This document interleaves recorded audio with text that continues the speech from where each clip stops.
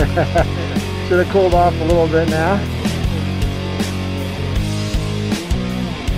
And there's nothing flat out from here.